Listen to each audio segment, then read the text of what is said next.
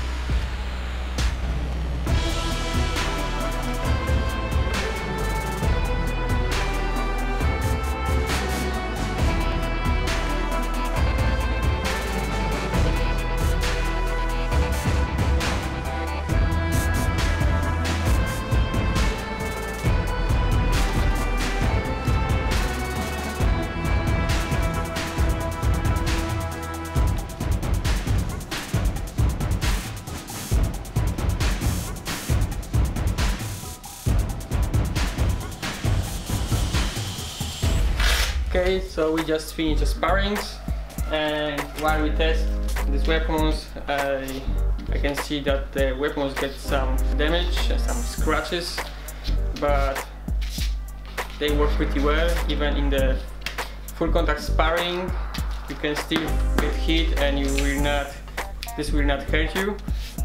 So yeah thank you for watching. See you next time is soft uh, foam. This one is better, it's harder, but still get some small damages.